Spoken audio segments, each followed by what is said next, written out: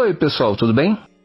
Caso seja a sua primeira vez aqui no canal, considere se inscrever, curta o vídeo e compartilhe se você gostar do conteúdo. E se você já faz parte de nossa família e quer ajudar na nossa produção de vídeos, seja membro. Isso contribuirá para que aumentemos nossas pesquisas e qualidade dos vídeos.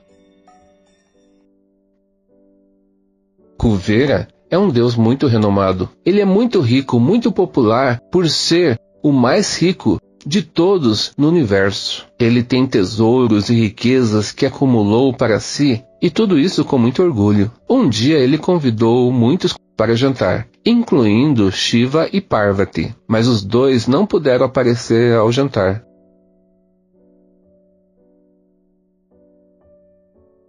Então enviaram Ganesha como seu representante.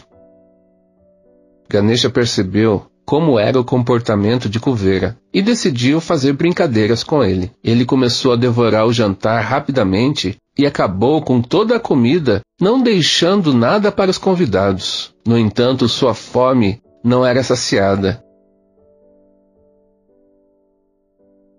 Ele acabou entrando na coleção de riquezas de Cuveira e começou a comer todo o ouro e todos os itens que ali tinha. Ainda insatisfeito, Ganesha foi até Cuveira e começou a pegar pedaços do corpo de Cuveira e comê-lo. E Cuveira, muito assustado, foi até o monte Kailasha pedir proteção. Shiva, vendo a razão por trás da ação de Ganesha, ofereceu uma tigela simples de cereais para Ganesha. E Ganesha comeu e imediatamente ficou satisfeito. Cuveira aprendeu que não deveria acumular riqueza avidamente e concordou, a partir daquele dia, ser mais humilde e distribuir a todos.